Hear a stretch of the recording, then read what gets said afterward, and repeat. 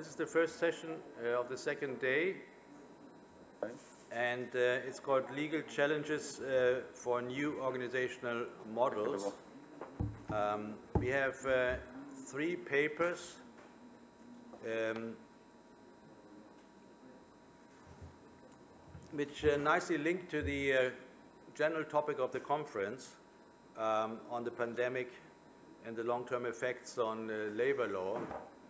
Uh, to which extent uh, our three papers actually uh, contribute to a discussion of new models or new organizational models we have to see and maybe can establish in the, in the discussion afterwards. Um, the paper the papers are neatly linked um, by having a common focus on remote work and its uh, implications for labor law. And uh, I don't want to comment much on, on this topic uh, at the beginning, and we have then more time for discussion of the topic. Therefore, let's start with the first speaker, uh, Tammy uh, Katsabian from Tel Aviv. Yes, thank um, you very much. And her paper on telework um, and how COVID has uh, exposed, um, in particular, issues of uh, privacy. Okay, okay Tammy. Great, thank you. yours. So thank you very much for the organizing committee and all the brave people who came so early in the morning. uh, so I'm going to talk about uh, the implications of uh, telework on the right to privacy. All the data that I refer to uh, is from the US. The situation, as you'll see in a minute, in the US is very different from the situation in Israel and in Europe, uh, in the bad sense. Um, let's start with some very basic definitions. I, I, I assume that you're all aware uh, to what uh, telework means, but just to be on the same, on the same page. Telework, hybrid work, remote work basically means that the employee is working outside of the, of the workplace using electronic devices. Most of the time we talk about the private electronic devices of the employee, but not necessarily. Telework from home, remote work, which combines working from home, hybrid work from home, uh, refer to employee who works from home, and all the data that I refer to refers to those kinds of uh, employees. Uh, so telework was with us well before the pandemic started, but of course the pandemic dramatically increased the number of uh, teleworkers all around the world. And this trend is going to stay with us uh, even after the pandemic is over.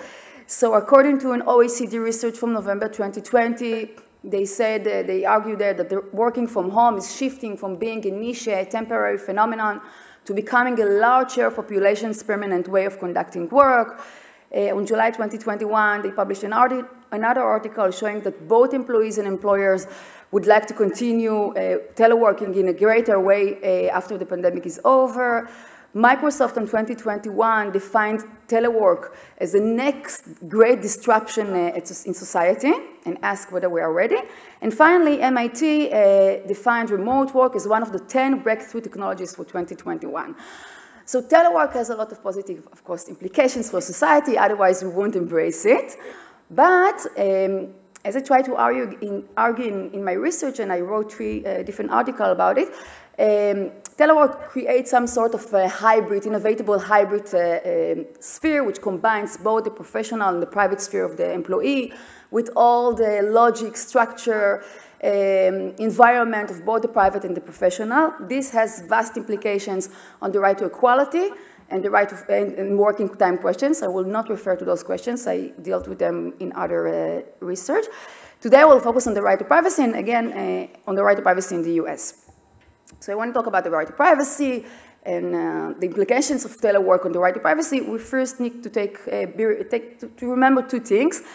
First of all, in today's world, and again, we are all aware to that, technology, AI technology specifically, uh, create a big threat on the right to privacy. Employers can easily access vast amount of information, every tiny piece of information on the employee, analyze it, and to this, and this creates some sort of uh, normalizing uh, uh, the culture of surveillance in the workplace.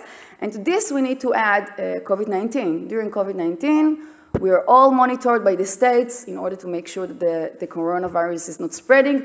And this, again, normalized the idea of, uh, of uh, surveillance, of monitoring people in their private spheres. Um, And to this, we need to add the fact that once an employee is working from home, along with the technological and cultural trends that we are facing today, the employer has a, a real incentive, a real uh, legitimate incentive in a way, to make sure that she's actually working from home, to monitor her, to make sure that she's working and not spending this time on other things. Unlike in the workplace, in which it's more easy to ensure that the worker is actually working because we share the same space, we can enter our office, etc. And of course, there are also uh, cybersecurity risks when the employee is dealing with uh, um, uh, financial uh, information of the clients or, or very, uh, I don't know, uh, top secret information of the company. It makes sense for the company to monitor this information. As you will see in a minute, all the programs that I will refer to don't really deal with the question of cybersecurity. They mainly aim uh, supposedly to ensure that the, working is, the worker is actually working, but in practice, mainly to scare the workers. So what I'm talking about. So uh, from the beginning of the pandemic, several programs such as not only Time Doctor, Teramind, Hubstaff, Pragli, increased dramatically their sales uh, in the US. And what those programs do, there is some sort of escalation in what they are doing. Time tracking is kind of easy. GPS and location tracking, it means that once I install um, the program in my computer or my uh, cell phone, the employer can easily know where I am, whether I'm at, I'm at home or in another place.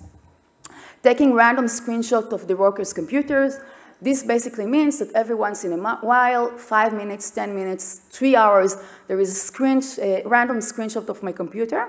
And then we can get to a situation in which, for instance, I was working for, I don't know, five hours, during those five hours, there were not screenshots. And then after five hours of work, I wanted to check my bank account for one minute.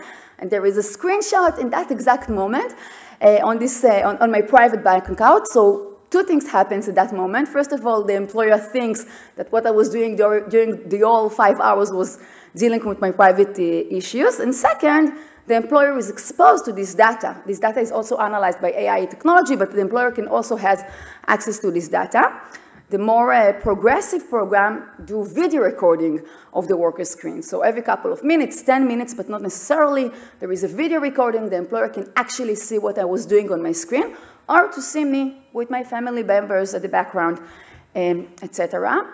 Monitoring all the online and offline activity of the employee means all the websites, all the email, all the pages that I was visiting during the day, what I was doing in each and every page, for how long, it is, it is all being analyzed by the AI technology. And all the, uh, the things that I was doing offline, all the documents that, are, that were open on my uh, computer. Uh, and finally, uh, referring to those explicit uh, monitoring programs, Pragli, the last one, uh, the last program, it's, it's, a, it's, a, new program, it changed it, its names also lately, offer to create an interactive community when people work at home and how they do so. They create avatars for each, each and every uh, employee. And if I want to interact with someone, all I need to do is just to click on the employee avatar, and then automatically I can see the face and hear the voice of the employee. Uh, this basically enables us supposedly to create the same environment as we have in the workplace. I can just enter the office of my, uh, my colleague. But, but practically what it says is that uh, I, as an employee, are encouraged, are actually forced to keep the, the camera and the uh, microphone always open. And in a minute, every colleague of mine, my employer can see what I was doing, what I'm doing in that specific moment, and to hear uh, whether I'm screaming at my, at my child or something like that. So those are the explicit uh, monitoring program, but along with them, there are the supposedly innocent uh, working programs, such as Microsoft 365, three, yeah, 365, which aggregates all sorts of data into simple charts or graphs that give managers high-level view of what workers are doing. So I'm using those programs to work, but there, there are also some sort of uh, secret, uh, uh, secretly monitoring what I'm doing. So I want to provide three specific examples uh, of those monitoring, uh, what those monitoring programs actually do in practice in order to, I think, explain better uh, the meaning to the right to privacy of teleworkers in the US. So NBC News, there are many articles about it, just two. NBC News published an article in August 2021 uh, they showed in this article how uh, they have many interviews with big tech teleworkers, and they show how the, those teleworkers face pressure to accept uh, home surveillance that include monitoring by AI-powered cameras in workers' home, voice analytics and storage of the data collected from workers' family members, including minors. This basically means that those teleworkers are forced, required to sign a contract in which they agree that all the information that was collected, including at their home by the camera, including information about minors on minors, will be exposed to the employer. The same article shows how ridiculous it can be. Uh, one of the uh, teleworkers uh, say that she was forced, uh, she was required to um, install a camera in her working space. She, she has a very small home. And we're talking about equality, so it's related to the question of equality. She has a very small home, so she uh, installed the camera in her uh, bedroom because she was working in her bedroom, usually during the evening, at nights, because she had another job during the day. And then she said that the camera uh, and the microphone in the bedroom was uh, on. She had to lock them on when she was working at night, and the camera mostly uh, take picture of her working and then her husband sleeping and snoring. So it takes us to a very ridiculous uh, situation. And finally, an article from the beginning of the pandemic from May 2020 by Adam Satariano. is a UK reporter uh, of the New York Times. He's located in the UK. Uh, he agreed to uh, participate freely in experiment in which he uh, installed one of the program Hubstaff on his computer and I will not describe the entire article, it's a fascinating article, you should look for it, but uh, he says that the minute he felt that he cannot participate in this experiment anymore was the minute that he realized the implications the right to privacy has for other people. He forgot to log off from the program, he logged on uh, to a Zoom training uh, class, okay, at the beginning of the, of the pandemic we were all at home, and then there was a screenshot of the trainer in her uh, sport clothes, in her own private home. She's not related at all to the, to the employer, to the workplace, organizing at home, organizing her, her home for the class. So this basically means that uh, the employer has information about a third person who is not related at all to the workplace. Uh, so just to summarize it, we can see that those programs that are very uh, common today in the US violate the right to privacy. I think it's very obvious to all of us, but it also violates the right to privacy of third parties, such as family members, people who are interacting with me online or offline in the background. But, and this is a huge thing, I think, they also involve third parties as violators. Those tech companies, they uh, intentionally create escalation in what those programs do in order to, um, to compete with other uh, companies and to uh, make greater sales and they violate the right to privacy while they, uh, they create a program. And this will take me to the question of regulation. And I will refer to it very briefly because I have only four minutes, I think. Uh, so in order to deal with this uh, problem, I uh, propose uh, uh, to embrace three principles in the US context. The proportionality principle, which is very common in Israel and some of the European countries as well using workers' representative and privacy by design approach, which is also very familiar in the EU and Canada. So the proportionality principles, I assume that you're all aware to that, says that we need to take into account both the right to privacy of the employee and the economic interest of the employer.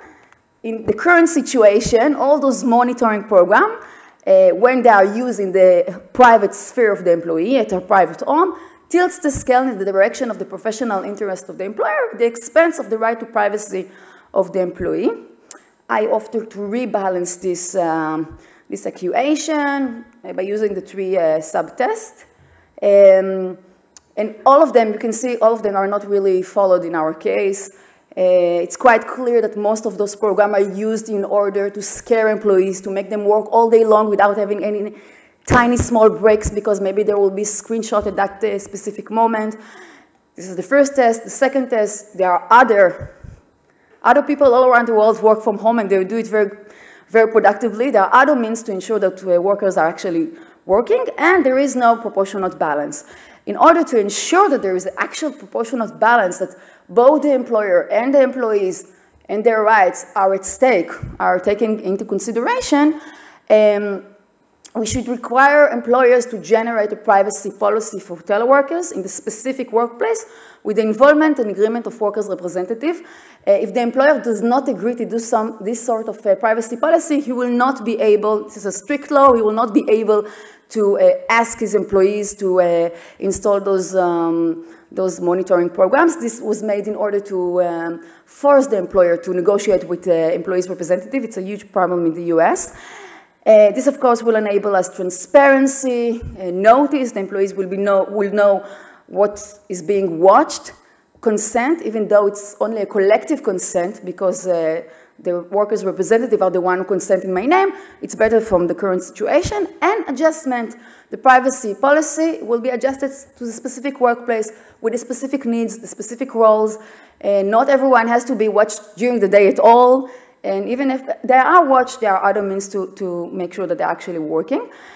And finally, it, uh, of course, uh, um, um, based in a sense on formal suggestion to involve trade unions in the uh, digital age, negotiating the algorithm in Valerio de Stefano Awards, and also the French original um, um, right to disconnect was based on the idea that trade unions will be uh, negotiating with the employer on the right to disconnect and everything will be published eventually in the, in the charter. So this idea of negotiating what is going on at home what, uh, while uh, employees are working from home is already familiar in today's world.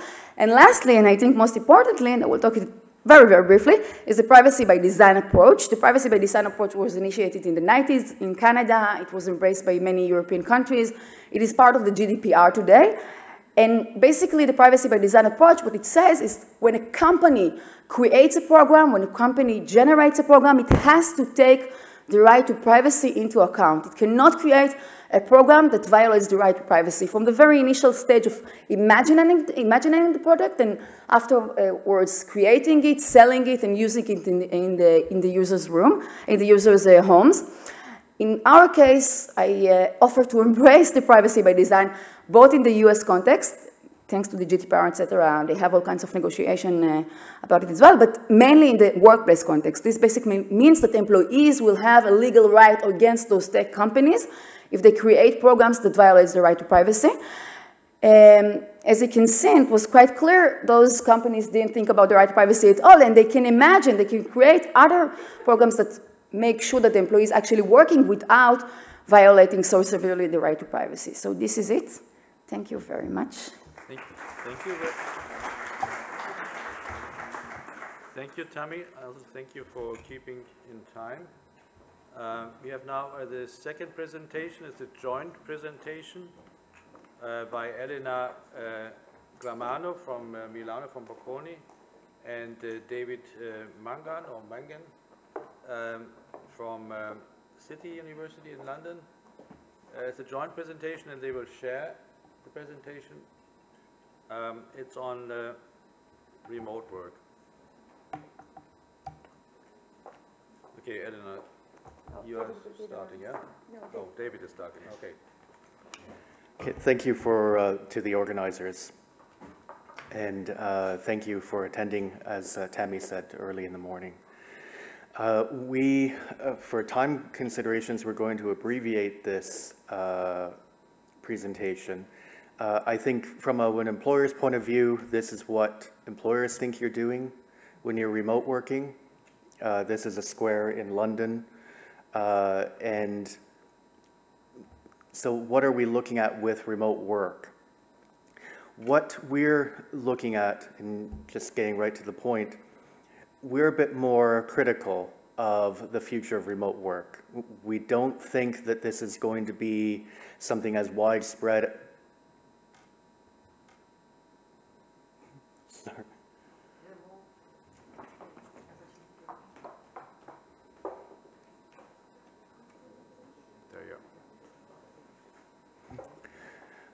So we were just spanning the world there for a minute. Uh, so we're a bit more critical of this. We don't think that remote work is something that will be as widely up, uh, taken up as the momentum suggests right now. Uh, so with that in mind, what we're suggesting is right now is sort of a test period. And so the last bullet point there, the, we're into a period where we have hybrid remote working. And the question is, well, what will this period yield? Will it be a test period that employers say, well, this doesn't work? Or will it show that uh, remote work can work effectively? Now, we had the United Kingdom, but because they left the EU, we're just going to skip them uh, and go right to Ireland. Ireland has uh, legislation that it, it has drafted, and it does not have a right to request remote work at present. And I'll just draw your attention, sorry, it's a bit uh, covered up, but the last bullet point there, in Ireland, there's a bit of optimism, and I'll just read it for you because it's a bit blocked. As time goes on, it is likely that telework and fle a flexible approach to work organization will become a more prominent feature for employers and employees. Uh, I appreciate the optimism. Uh, I don't share it, though, and I'll explain why in the Irish context. The draft bill that they have, uh, it asks employers to devise a remote work policy. So what this does is employers can define the parameters of any uh, request for remote working, but, uh, and it's limited to employees alone. So right there, we have a limitation as to how widespread re, uh, requests can be in Ireland. But here, and it's a bit of a, a big slide, but that's done on purpose to show this is what employees have to do. They have to provide all these details. So more or less, employees are being asked to make the uh, argument for why they should be able to work remotely and I'll draw your attention to E in the second bullet point. They also provide a self-assessment. So in other words, if you're going to fail, you're going to have your own words used against you when you put in a request. Now, one thing, and a criticism I have of the legislation is it is actually, I think it was written in a rush because there are a lot of gaps in it. So for example, doesn't speak to duration.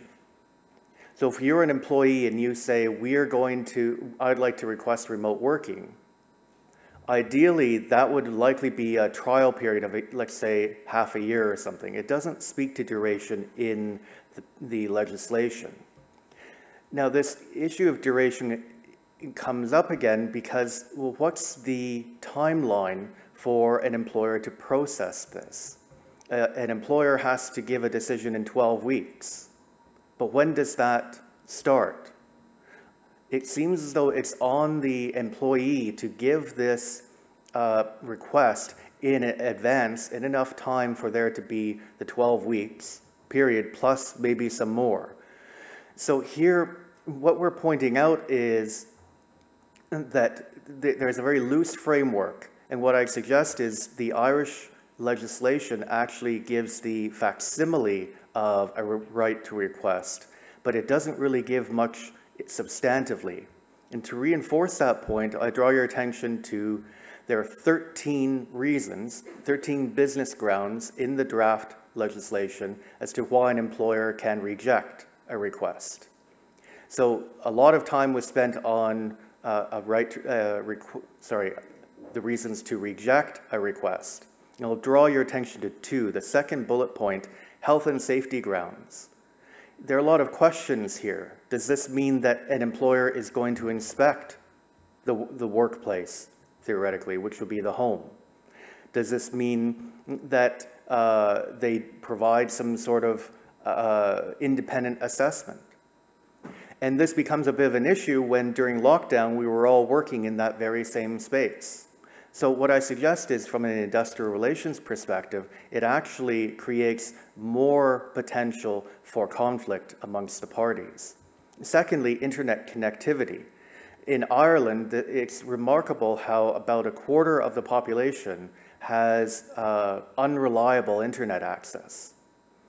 So if you are requesting remote work, and you're in an area that is not well serviced by the internet, by broadband, then that is a reason for your employer to, re to reject your request. So here we have an issue of geographical location if, uh, amongst other points. Finally, appeals. Appeals is sort of a cute term that's in the legislation uh, because I call it cute because if you look at the second bullet point, there's actually no right to appeal. An employee cannot appeal the decision. They can only appeal based on a failure to follow a procedural aspect, such as not giving a decision. So uh, the legislation, as I say, provides the idea that there is this right to request, but it doesn't go much further. And we'll move to where we are now. Thank you very much, David. Uh, I follow up uh, um, presenting very briefly the current legal framework in the Italian legal system before uh, giving back the floor to, to David for the final conclusions. Uh, in Italy, um, in 2017, a law was introduced in order to regulate what we call smart working, which is a way of performing the working activity within a subordinate employment relationship um, that uh, uh, is peculiar because the working activity is conducted partially outside the employer's premises, outside the uh, workplace, and partially inside the workplace. Um, it was a law that was introduced before the pandemic, but that uh, was relied upon heavily, let's say, during the pandemic, even though um, many scholars pointed out that the way uh, in which the work was conducted at, from home during the pandemic has nothing to do with a smart work, a way of working. Uh, basically, the law provides for uh, the parties of the employment relationship, therefore at the individual level, to um, determine mutually the conditions of their uh, smart working uh, way of uh, exchanging the working performance and the um, remuneration. Uh, through an agreement that is a side agreement in respect to the employment contract that is still, of course, valid there. There is no dispute on the classification of the employment relationship if the um, working activity is conducted uh, remotely. Such an agreement shall provide for a number of, uh, shall regulate a number of aspects. It is interesting to note that uh, the lawmaker um, believed that the parties at the individual level were able to regulate, um, let's say, uh, peculiar aspect of the employment contract, for example, the way according to which the employer shall exercise uh, um, his or her prerogatives, for example, uh, the power to direct the working activity, to monitor the working activity, coming back to what our colleague just said, um, and also to sanction the uh, worker in case of uh, misbehavior, misconducts. Um, the uh, parties shall also uh, mutually regulate uh, uh, the right to disconnect, um, the pauses, rest times, because one of the other um, specific aspect of the uh, regulation of 2017 is that of uh, uh, not providing any limitation to uh, the working time regulations as long as the maximum hours of work according to the law and according to collective bargaining agreements are respected. Therefore, great flexibilities for the parties to both regulate the work, uh, sorry, the place of work and the time of work. And what it is interesting, though, is that uh, um, the lawmaker pointed out, and I would like to stress this aspect, pointed out that at least part of the working activity shall still be carried out inside uh, the workplace. We can assume that there are a number of reasons behind these uh, decisions. For example, um, do not uh, put the uh, employee in the position of being um, separated from his uh, colleagues, uh, uh, put the employee in a position of being able to dialogue with the people in the workplace and with the employer, therefore not to be completely excluded from the working environment. But at the same time, leaving the parties uh, a great flexibility in determining how, where, and when to perform uh, the, the working activity. As I said, during the pandemic, the law provides uh, that there was no need for an agreement to be signed between the parties in order to um, switch to a remote way of conducting the activity. Therefore, the employer could unilaterally impose uh, the employee to work from a remote uh, station, meaning from home at the time. That is why many scholars pointed out that uh, this is a separate regulation that we might still call remote working or smart working, but has nothing to do with it. With it was just a way to force citizens to stay at home um, during the uh, pandemic. There are a number of uh, problematic issues related to the um, smart working regulation, starting from the fact that the law does not mention at all the role of collective bargaining agreements, even though nothing prohibit prohibits them from being involved, but still there is no explicit reference to the role in such regulation but at least it was a, a sort of for, um, forward way of think at the way of performing the working activity uh, finally in 2017. Now, please, David, if you want to continue. So looking at the questions uh, within the each country, that there are some questions as to the viability. Overall, what we suggest is that there are uh, a couple, of several obstacles in the place of uh, a more widespread remote working uh, policy or uh, more people being in remote work. One, as I mentioned with Ireland, was is infrastructure. So if there's no infrastructure for uh, everyone in the country to have access to broadband, then this is obviously a very simple uh, obstacle. Uh, and it feeds into other public policy goals that, frankly, in Ireland, I'm a bit surprised the government hasn't really tried more to tackle. Second is control. Uh, Tammy had mentioned a bit uh, of the gig economy. I think one lesson we take from the cases, wherever they were, is that the platform companies have tried to exert remarkable control over platform workers while also saying that they're not employees. And I take that point more broadly with remote work. And that is, more generally, uh, we have evidence that employers are concerned about monitoring what workers do, what people are doing, especially when they're remote working. So if you're in a workplace and you're, if you're in an office, it's easier to monitor. So that's another obstacle. A third point is, I think we can exaggerate a bit what happened in COVID-19. I think we have to remember that we were all locked down. There was nothing going on outdoors. Uh, now we're at a conference uh, now, so things are a lot more open. And with remote working, there are more opportunities, uh, if we think sort of cynically like an employer, for workers not to be working, maybe to be in a coffee shop with friends or something. So not the best picture of uh, workers, but nonetheless one that seems to be prevalent. And finally, a lack of will, and this may be the largest.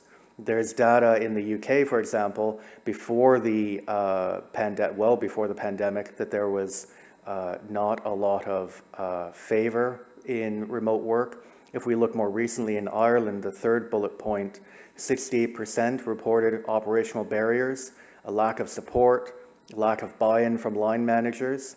And the last bullet point, I think more long term, we have to keep in mind, is there going to be a difference in terms of career prospects? Do those who work in the office have a better opportunity for advancement than those who are remote working? Uh, whatever the reason may be for remote working. So those are, uh, that's a summary of our sort of skepticism about whether or not remote working will become as prevalent as the momentum right now suggests. Thank you.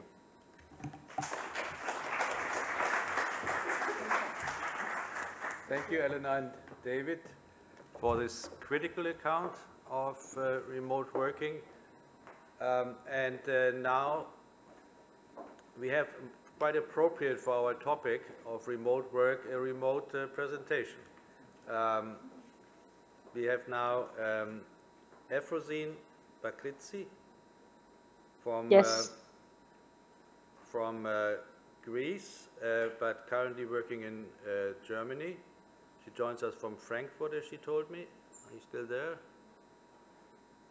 Yes, I'm here. Can you can you hear me? Yes, we can hear you, and now we can also see a PowerPoint.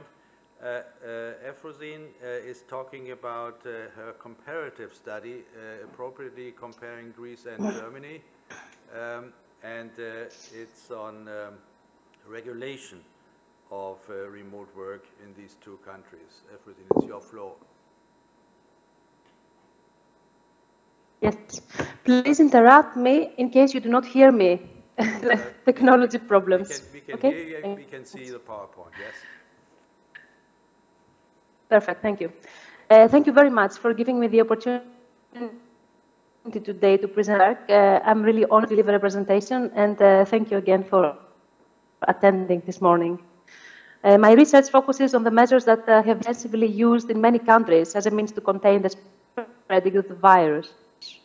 We all experienced extraordinary uh, and urgent measures, such as restrictions to physical movement within and across and reductions of social contacts, all of which had implications on work activities. Telework, remote work, or mobile work were used extensively for these purposes. Uh, and these are made possible due to the digitalization of work and the possibility to use new technologies, creating virtual workplace workspaces. Um, today, I will talk about remote work and telework in Greece and Germany and compare the two regimes. Uh, the pandemic is not over yet. Uh, the continuous use of telework remains necessary for several reasons to um, contribute to less infections and um, advertising the health and safety of employees. My main argument speaks for uh, a hybrid work model in the post-pandemic work architecture. Um, we see a trend towards a hybrid model, but course, the weaknesses of enforcement of rights, of rights may hinder the development of such a model. And the comparison between Greece and Germany may serve as an indicative example and provide some useful insights for the future.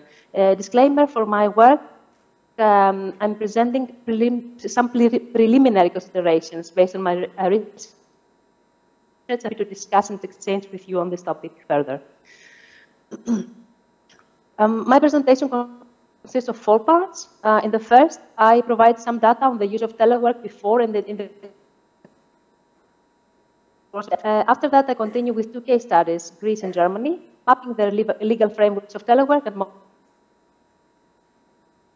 in these frameworks during the pandemic. And in the final part of my presentation, I bring some preliminary considerations based on the comparison. Before I embark on the analysis of the uh, regimes, uh, I, I, would like to provide some useful information. In the period before the pandemic, remote work or telework was not the rule in the two countries under investigation. In 2019, the employed persons working from home as a percentage of the total employment was 1.9% in Greece, 5.2% in Germany, and 5.4% in the EU. In 2021, the respective percentage has risen in Greece to 6.7%, more than tripled in comparison to the period before the pandemic. Uh, in Germany to 17%, similarly more than tripled, and in the EU 27 to 13.4. These increases indicate a turn in the culture of presence at work. The data retrieved from Eurostat and the European Union Labour Force uh, Survey in these um, employed persons, self-employed are not counted. The percentage of self-employed is much higher, and the change during the pandemic was not that high. I could not find official data for the public sector teleworking, uh, so I am not providing you any here. And I continue with the case study of Greece. Greece is still in the process of recovery from the economic crisis. Its legacies still dominate the legal, political, and academic discussions, leaving limited space to issues stemming from the digitalization of work and the use of new technologies. Actually, the COVID pandemic found Greece totally unprepared to such a transition to telework or remote work. And why is this? Because the country had to face more demanding issues due to the legacies of the economic crisis. The corona health crisis intensified the inefficiencies and inadequacies of the Greek labor relations system with regard to digitalization. The crisis management strategies and framework in place were not fully developed, and the approach for dealing with the unprecedented health crisis was rather conservative, taking measures step by step depending on the evolution of the pandemic. Extraordinary legislative procedures without prior consultation with the Parliament were used extens extensively for this purpose. One of these measures was the mandatory use of remote or distance work in the private and public sector. The Legislative Act adopting this measure used the broader term of remote or distance work and not only telework. The employer was allowed to introduce unilaterally remote work. The aim of the Act was to give companies or enterprises the possibility for flexibility. Initially, this measure was introduced for a specific period, but it was prolonged for several times. It was also combined with other measures. For the unilateral introduction of remote or distance work by managerial prerogative, there was no prior agreement between the employer and the employee necessary. In the, in the aftermath of the pandemic, the requirement of prior agreement for remote work uh, is restored. During the several waves of pandemic, these measures were extended or repeated to various degrees, depending on the development of the pandemic and the eventual pressure on the fragile Greek public health system. Uh, and the compulsory remote work framework became even stricter by introducing administrative reporting requirements regarding uh, uh, security staff. Few of the provisions in these legislative acts regulated minimally the performance of remote work or telework, under these circumstances, neither the Greek state nor the companies were prepared for such a transition to telework on such a large scale. Uh, what is new? Greece was unprepared for such a transition. The regulatory framework that existed was outdated and inappropriate for meeting the, need, the needs of the new reality. After many months uh, implementing the legal framework dated from 2010, an attempt to fill the regulatory gap took place with the modernization of the labor law in 2021. The new provision included a definition of telework. This definition includes home, uh, home-based telework or mobile work, and also alternating telework can be included from its wording. Um, it uh, only uh, concerns dependent work, multiple forms of work, such as full-time, part-time, or other forms of employment relationships.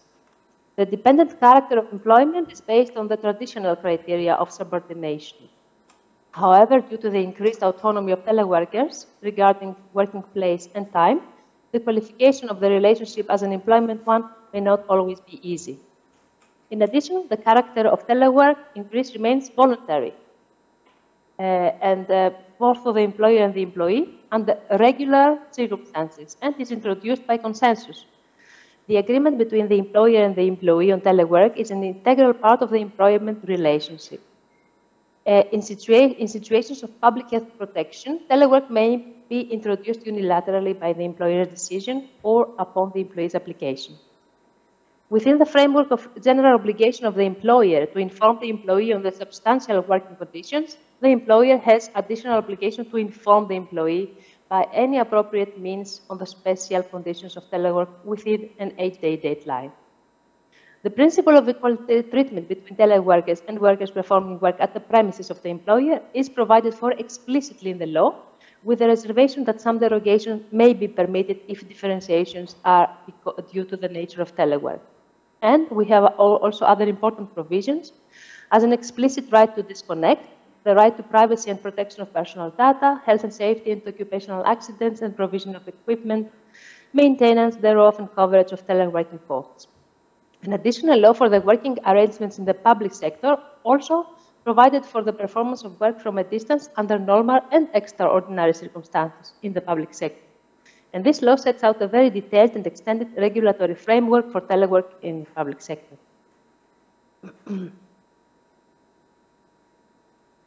in Germany.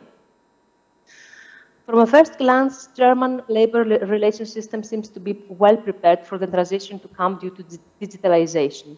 The discussions on digital transformations and the future of work are ongoing since a long time now, compared to the respective discussions in Greece. The ground for initiatives is therefore mature, but Germany faces difficulties in reaching consensus regarding concrete legislative acts on mobile or remote work. Such legislative initiatives would address the fragmentation of legal framework on telework or remote work. Is Germany a step behind Greece in this regard? Interestingly, in Germany, a legal definition of telework exists since 2016. in the Ordinance on Workspaces, a law, the legislator lays down a rather narrow definition of telework. This definition may not cover cases where the employee uses his or her laptop, personal computer, or desk for the performance of work. For these cases, the above provisions that, not, that do not apply. Uh, many existing home office workplaces are still not subject to the workplace ordinance. And in practice, this form of telework has been termed as home office in Germany. The implementation of telework is not regulated in detail, but usually an agreement between the employer and the employee makes the arrangement of telework or mobile work concrete, including matters of establishing the workplace, work time, data protection and secrecy, right to access and control, and termination of home office arrangements. Under normal single uh, conditions, changing the place of work by introducing telework or mobile work modifies the basis of the employment relationship especially when the employee performs work with his, own, uh, his or her own work equipment.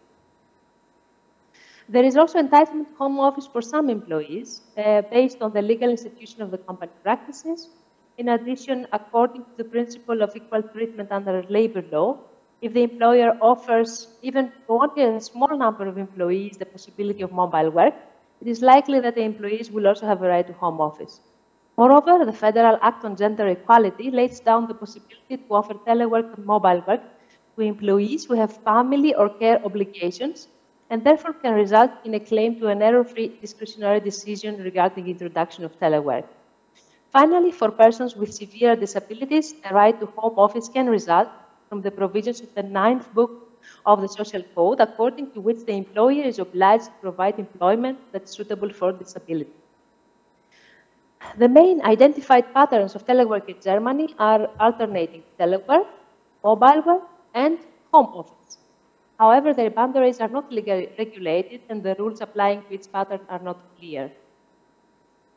Um, a right to home office, an illustrative example for the difficulties in implementing legislative changes is the discussion on the right to work from home on home office, an entitlement that could be enforceable. No regulation is adopted at this time uh, of the presentation. In October 2020, there was a draft legislation where the right to 24 days home office activity per year was to be introduced. Due to the strong critique by social partners and employers, a new referee draft on a Mobile Work Act in November 2020 was presented. In this draft, mobile work would be regulated on an individual negotiation basis between employers and employees. In the recent government coalition contract of 2021, there is no provision on a right to home office. What did the corona pandemic brought, bring? The change that the pandemic brought in this regard was the temporary obligation to home office. In the beginning of the pandemic, there were only suggestions and appeals to employers and employees to make use of telework, where and if possible, to limit contacts and hinder the spreading of the virus. This was the so-called light right to home office. However, there was a health and safety public law provision in the Infectious Disease Protection Act applying to all employees in the private and public sector, including employee-like persons, for a temporary obligation to use home office. Since November 2020, employers in Germany have been obliged to offer employees the opportunity to work from home, unless there were operational reasons for not doing so. This was a public law provision, and an amendment of the employment contract was not necessary.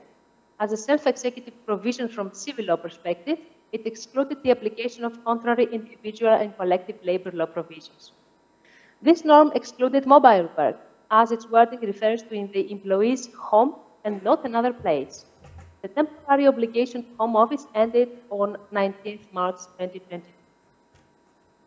Moreover, according to previous case law, the statutory occupational accidents insurance did not cover cases when accidents happened at home while teleworking because these cases were characterized as own economic activity.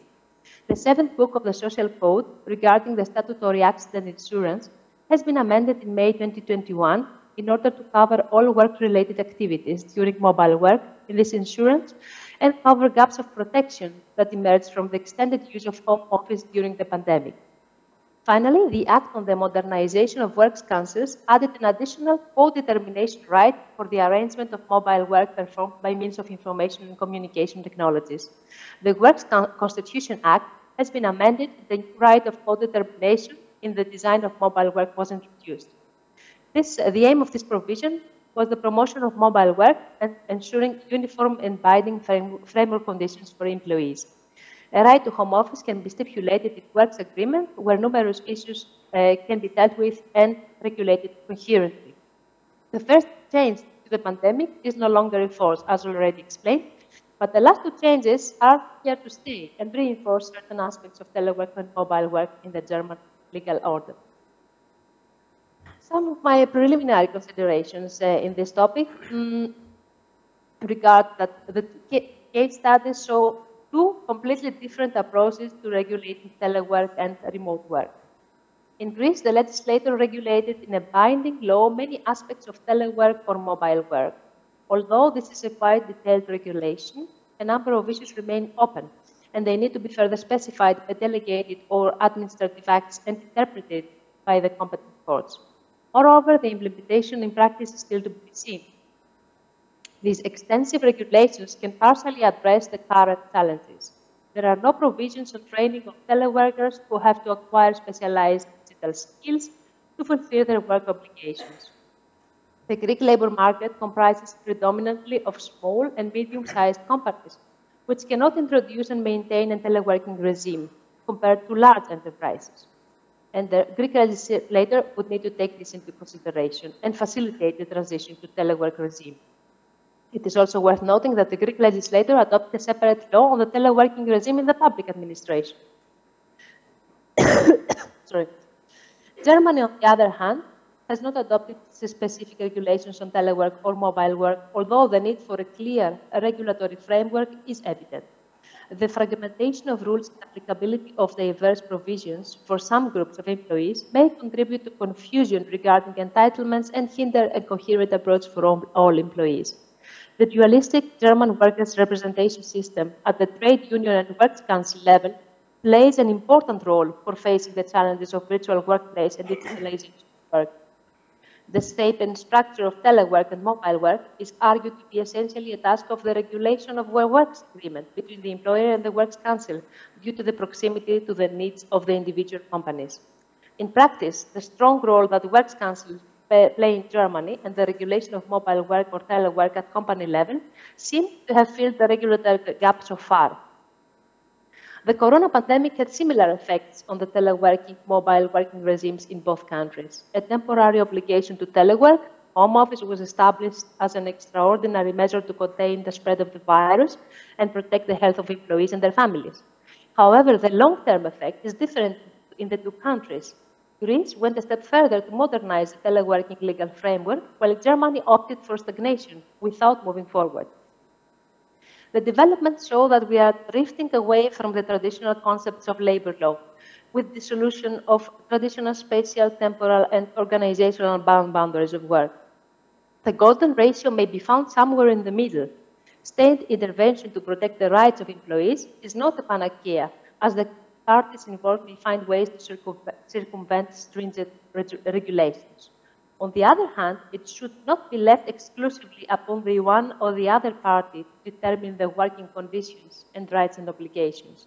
A human-centered, as opposed to a resources-centered approach, and the balancing of interests in the context of digital sustainable work with the active involvement of social partners may be a challenge, and the experiences of these two countries as complementary to one another serve as the basis for further discussions and considerations.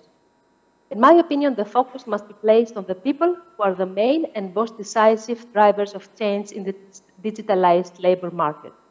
Thank you very much for your attention.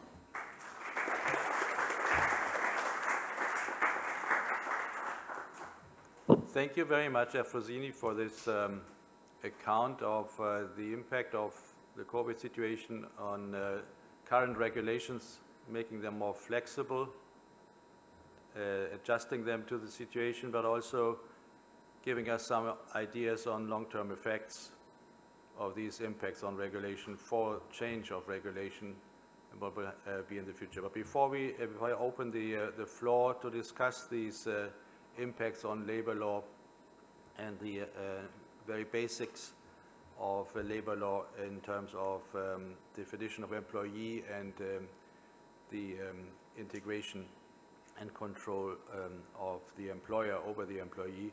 Let's give our um, discussant a chance uh, to comment on the three uh, presentations.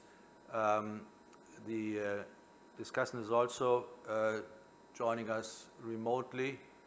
Uh, it's uh, Marco Biasi from Milan. Um, Marco, can you hear us and is everything okay? Yes, Ralf. Okay, Here I am. so I give you the floor now uh, for your comments. Thank you very much, Ralf. Actually, I'm I am from Milan. I do work from the, for the University of Milan, but now I'm connected from Stanford University. So the heart of the Silicon Valley, it's 1 a.m. So I'm perfectly fit for the focus of today, at least I hope.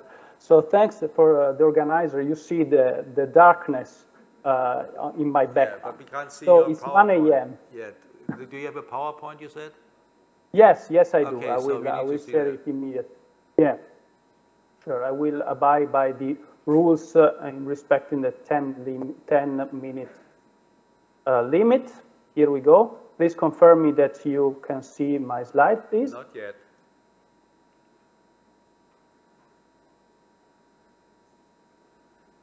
Now you do. Not yet. Well, let's see. In the meanwhile, I keep uh, I keep talking, and I thank at least I thank the organizer for giving me the opportunity to serve uh, as the discussant in this very interesting and intriguing session. So let me also compliment the, the, the presenters on their uh, very amazing job in their presentation. I found their presentation extremely uh, engaging and interesting, and the fact that they are addressing uh, uh, the same topic, which is the topic, as we know, of telework, but from uh, different and I would say complemented, uh, complementary uh, angles. So this made the overall discussion uh, even more interesting uh, and mm, enriching uh, for us. Now you see my slides, do you? Unfortunately, still not, no. No, you don't see? Okay.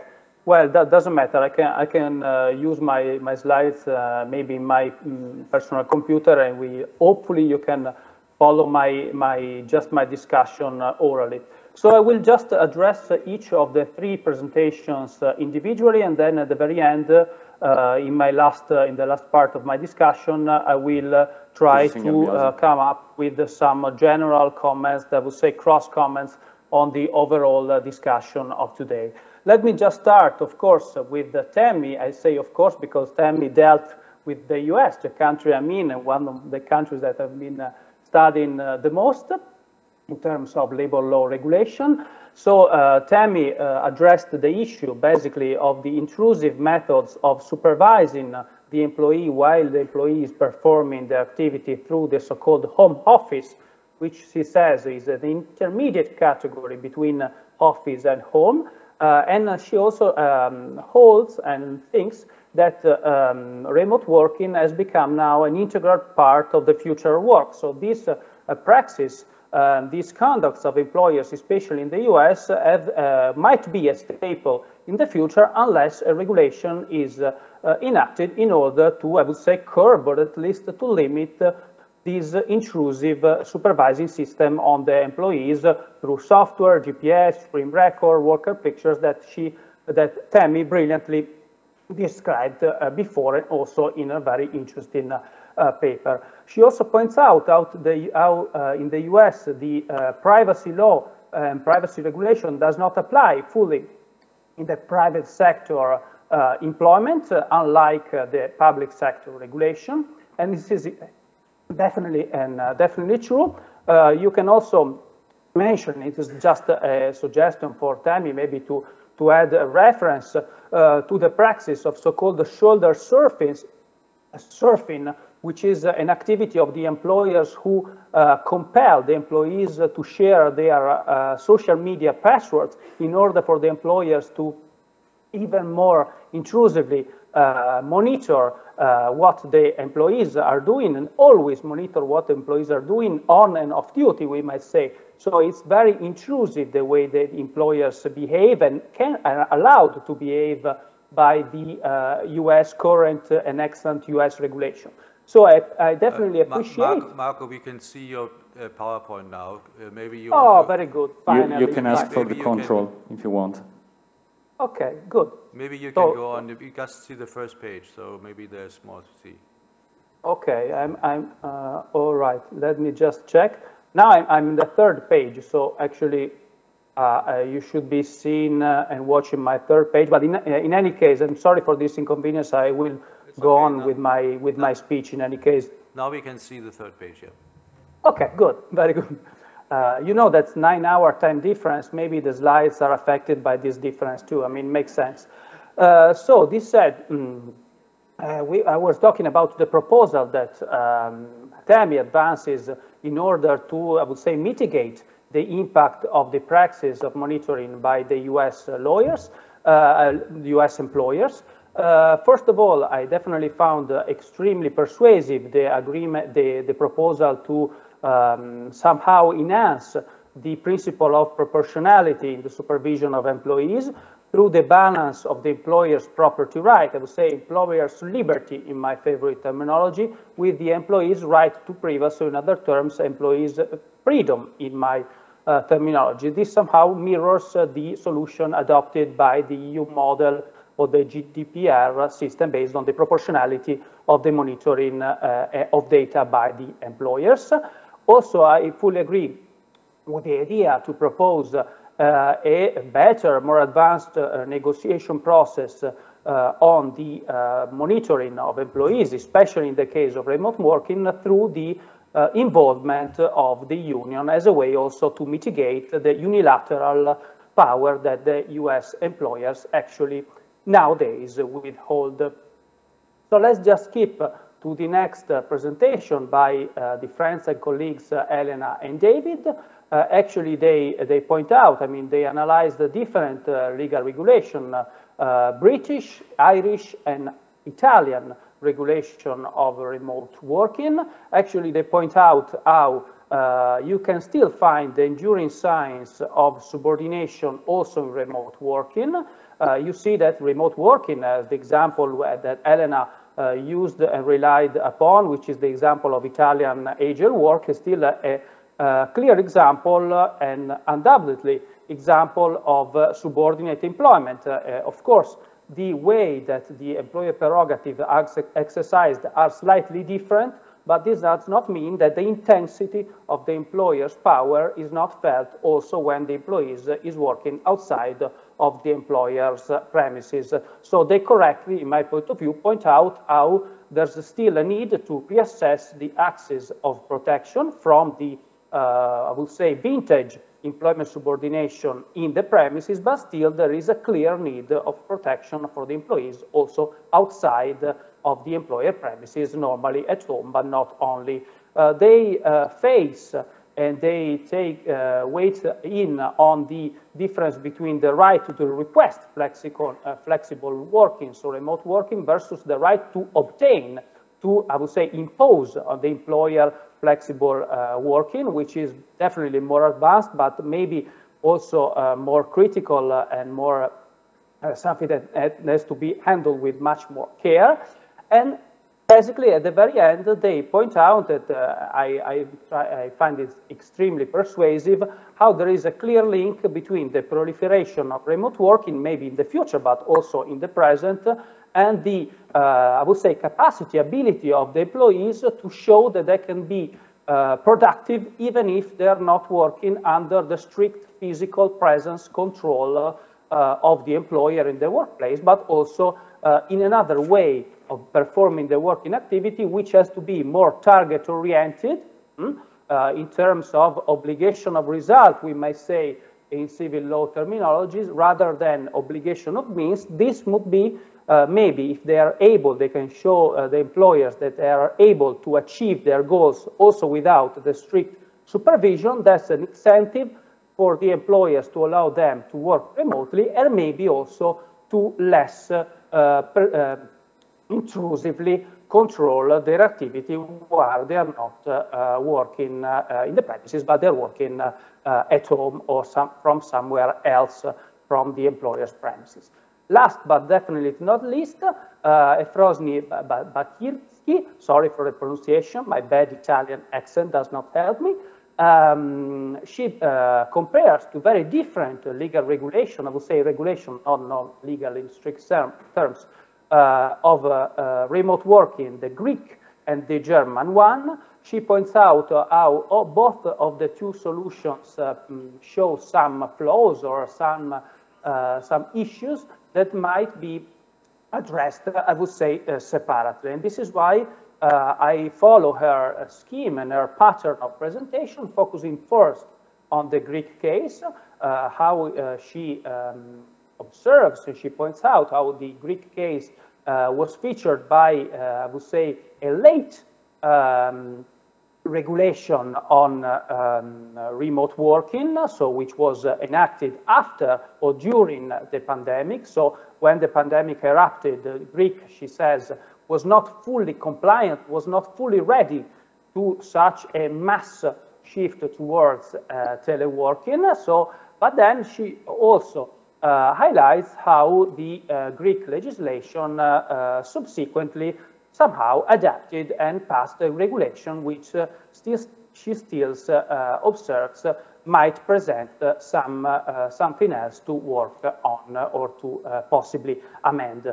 I would say on the opposite side, the flip side of the coin, we might place the German example because the German example was, was and is still featured by the most vast use of the or reliance on the uh, industrial relation system, so more uh, collective bargaining than law uh, in the regulation of telework um, collective bargaining, but also individual bargaining, because as she explains very clearly, uh, still the um, employee does not have the right in Germany to have access to telework. It's still a matter of consensus, so consensual nature of the agreement on teleworking. Plus, there is an extensive, a very uh, important uh, present and role of the Works Council, Betriebsrat, as in the uh, tradition of German uh, industrial relations. This is the same for the right to disconnect, uh, which is uh, regulated by law under the recent Greek legislation. The same is for Italy and many other countries, France as the precursors, um, France and Spain too. In Germany is all still left to the collective autonomy, I would say collective agreement or Betriebs agreement. Um, she um, I'm also referring, always referring to Effrosyni, uh, she somehow uh, clear, uh, clarifies how we have uh, two models, a statutory approach versus a collective approach. She uh, observes and concludes that maybe the best idea, the third way, is somewhere in the middle between a statutory and a collective approach.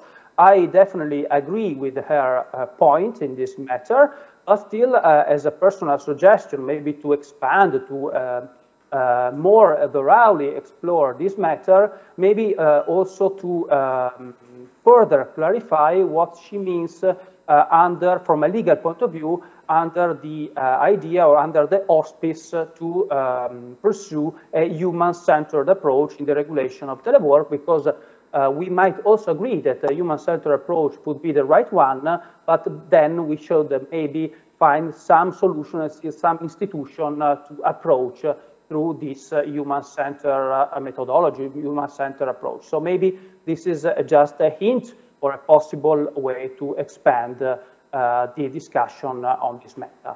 Concluding remarks, because time uh, goes, goes by very, very quickly. Um, major issues of telework, and this is some, I would say, some cross um, comments regarding the OF3 presentations. They all very clearly um, observed and remarked how telework presents and uh, shows uh, common uh, issues almost in any country, uh, invasive monitoring, especially in the US, but not only, time porosity, so the always on culture, so the lack of free time, the dilution of the working time versus the boundary between working time and the time off, uh, liberty time, we might say. So this, this uh, um, blurring distinction between time, working time, and non-working time is still a matter of discussion. Employees' responsibility and employers' power, of course, and also as Elena and David very uh, clearly uh, display in their, in their research is a very important matter to discuss uh, for the further regulation of uh, remote working. Of course, uh, the three uh, presentations show different uh, legal frameworks. They dealt with the very different legal frameworks. The US example, low, low protection but high technology, different sources, mm, for example, law in Germany, predominantly law versus collective bargaining, no, sorry, in Greece versus collective bargaining in uh, Germany. Still, I think that the, if I want to trace a final thread in the three presentation, is their, uh, I would say, moderate uh, and not skeptical approach towards the institution of uh, telework. And I fully agree with all the three, uh, four presenters uh, on this point. Telework is considered both an opportunity also and a challenge. So there is a, a positive side, I would say less positive side, I would say a challenging side of telework. Uh, I, my personal feeling is that the balanced approach is the uh, most uh, suitable approach. And just to clarify uh, my, my point, my final point on this uh, specific matter, we can address uh, the issue of the access to telework in terms we might have two opposite way of approaching the team. So one way is to consider it an absolute right of the employee. On the other hand, you might consider it as an absolute uh, power uh, of the employer to impose upon uh, the employee the, the, remote working like actually uh, occurred during the uh, pandemic. I think and I fully agree with uh, the presenters on the point. An intermediate uh, approach uh, is the uh, best one. So we might uh, think about framing uh, the access to teleworking as a matter of consensus and maybe as a matter of individual agreement under the umbrella of collective agreement. I think that the ultimately the major um, challenge of telework is not only a regulatory challenge, but it's a, a challenge for industrial relations and the, uh, I wouldn't say participatory role, but still involvement role of the unions in the organization of labor. This is the challenge for the future and for the of telework. Thank you very much for the attention. Okay, okay. Thank you, Marco, for your for your comments. Before uh, I give the um, floor to our presenters to respond to your, uh, to your comments. I would uh, like to invite the audience uh, to, uh, um, for questions, and we have 15 minutes, uh, so there is some space to uh, ask questions to the, um, um, to the presenters. who would like to start? Yes, Frank.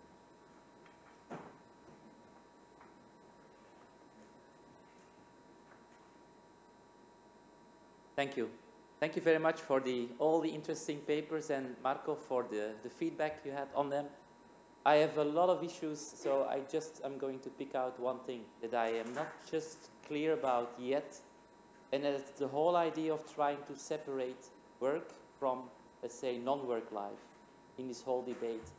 So we have the idea of work-life balance, we have the idea of separating, like we did in the past, the work time from leisure time, we know that case law and regulators are struggling in approaching this through either saying we have your own, let's say, voluntary way of choosing your own time, or we leave the whole concept of working time, or we leave the whole thing of, let's say, uh, measuring working time. So I just want to figure out what do we do with working time, this whole discussion. We have a case in the European Court, you know that, the CCOO on measuring working time do we measure working time of teleworkers or do we just leave this and let them alone and let them do and take it for granted that work and private life cannot be separated. We just have to deal with it. So that's my question. Okay, thank you. That is rather a comment than a question, but uh, it's a question. Okay, good, good, good. Yeah, it's a question. Uh, Anybody else? There's, there's a,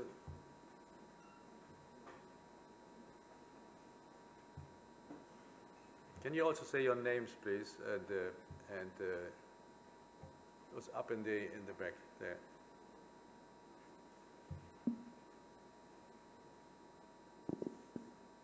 Uh, thank you very much, Silvia Rainone, for the European Trade Union Institute. Um, very thank you for the presentation. And I have a question, which is perhaps also a comment. Uh, because beside the like um, more narrow perspective of well-being and separation between working time and telework and regulating in their employment relationship, there is also all the dimension of businesses with a more global scale that are basically shifting the business model to telework. They are allowing uh, workers to work from whatever, and these, mm, I have the impression, may create um, downward pressure on working conditions, a sort of global social dumping on this, and may also um, redefine a bit the scope of the employment relation. They're pushing toward autonomous work and self-employment uh, work. So I was wondering whether all these may fit within um, national, what the national legislator or European legislator may do in this context. Thank you. There's another question over there. Um, good morning. I'm Stefano Guadagni, University of Milan. Uh, actually, there, there is a, an interesting link, but there is also a question to to all three representatives. Uh, one item that you, uh, yes, sorry. Um, one item that I think is very relevant is that you highlighted is that the difference between uh, um, the, the massive expansion in the use of these various systems of with uh, the already existing either regulation and practices in place uh, at the, in, in, company and national and supranational level. So uh, do you think that um, the fact that these practices and regulation already existed for more structured ways of uh, uh, working in, in, a, in a remote setting are to be kept separate or rather need to be integrated going forward with a broader regulation of the possibilities for the workers to access hybrid forms of work. Thank you. Thank you.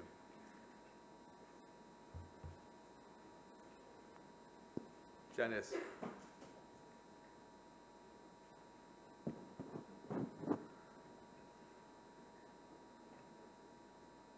Uh, Janice Bellace, uh, University of Pennsylvania. No one said this directly, but it seems to me implied in several of the presentation of, about remote working um, is that the employer response much of the time in monitoring it is pushing work away from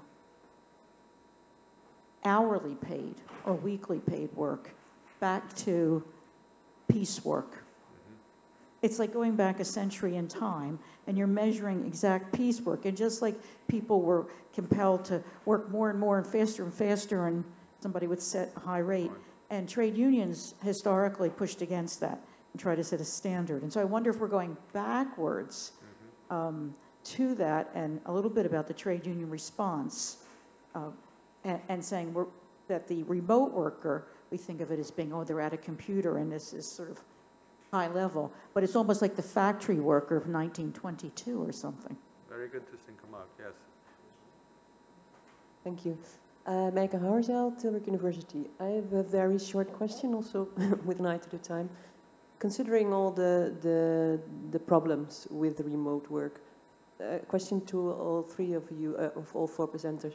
Would you advocate a right to work from home? All right. I can't see any more questions.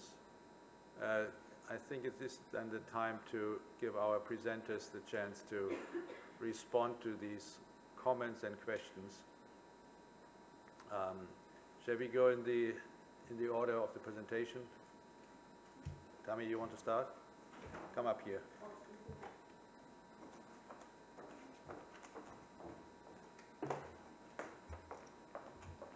So first of all, thank you so much for the great comments.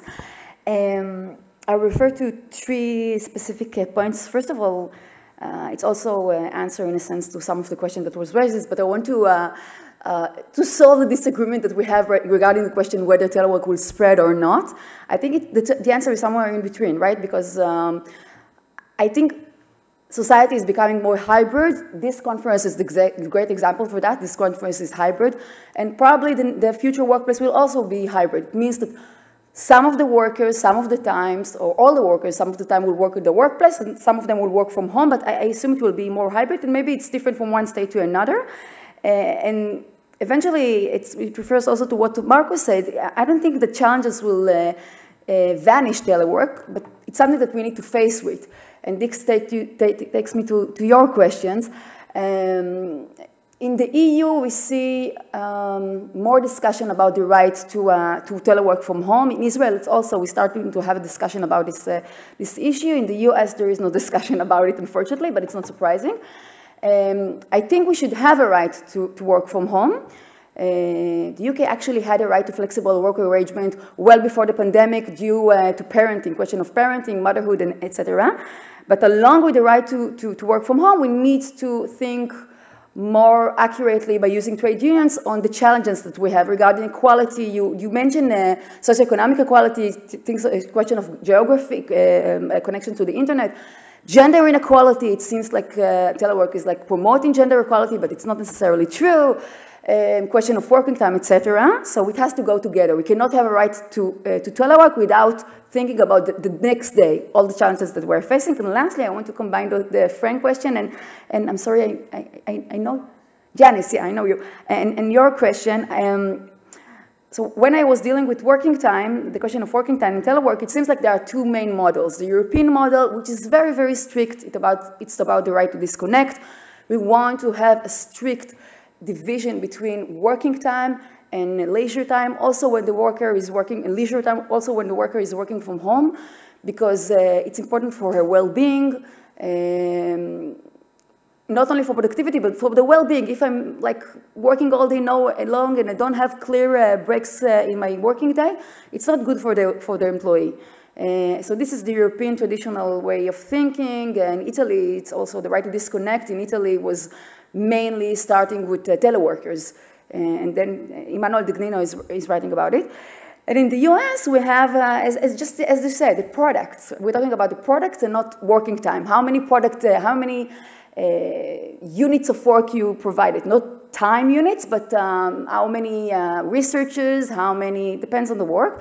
So there are two main models in the, in the US, um, new ways of working and results-only work environment and they're supposedly increasing the autonomy of the workers because you just, you just need to do your work. You have your free time, you, you're free to choose when to do it and how to do it, but you just need to do your work. And the main problem with this autonomy is that eventually uh, research showed that it shifts the burden on the employee uh, to organize their working day. Uh, and secondly, uh, more importantly, it doesn't bring into account all the small, tiny things that we are doing during the day, and they are not profit, and they are not products. For instance, answering emails, uh, creating a, a, a, summary of what I was doing during, during this day. So I'm, it sounds good to talk about autonomy and to enable employees to do whatever they want to do during the working day as long as they work. But eventually, as, as, as I see it, it shifts the burden on the employees to organize the day and to do all the other stuff that are not like pure work. Okay, thank you,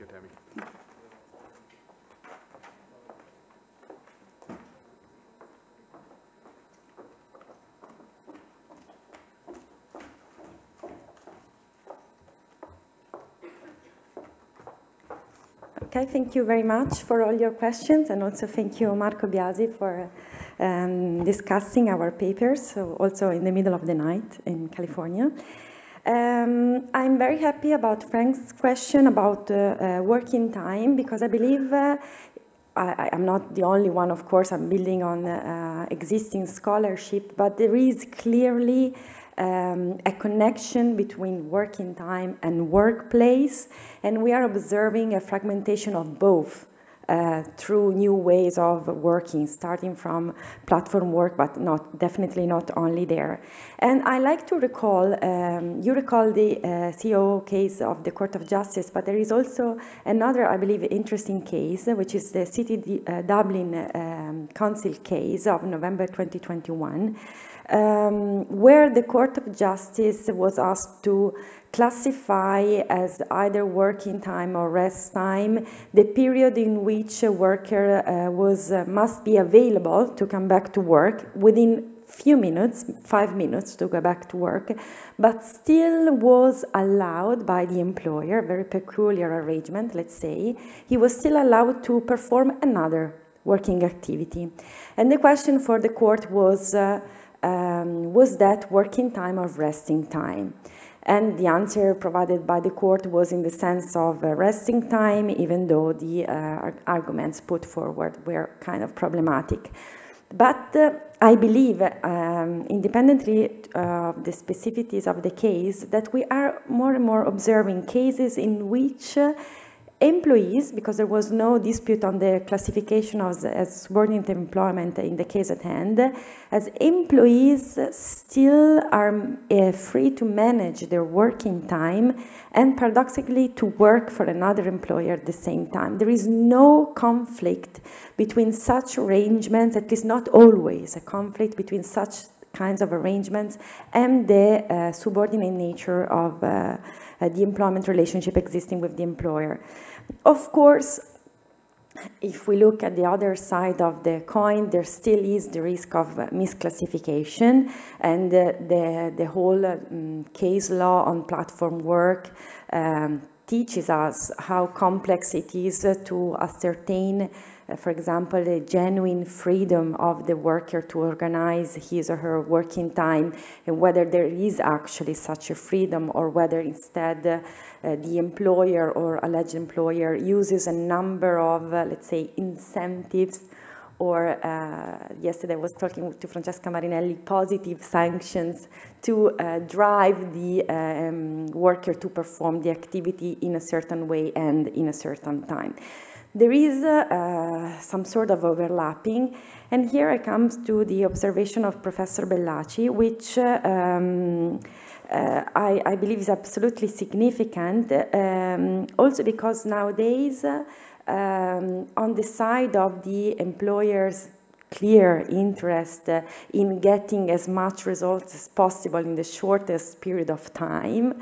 Uh, we also have the interest of the employee not to be um, permanently monitor and control to exercise a, a, certain level of autonomy in organizing the working time. And I refer, I like to refer to a proposal made by a colleague of mine in a recent essay, unfortunately it's in Italian, um, uh, an essay published uh, a few months ago, uh, where he suggested, um, and I believe at least it's a, an interesting way of looking at it, to use working hours as some sort of conventional way to determine um, re uh, remuneration, but not necessarily as um, a way to calculate working time, meaning that I can have an arrangement with the, my employer according to which I am paid 40 hours per week but I am still free to manage my working time. Basically, looking at uh, working hours and some sort of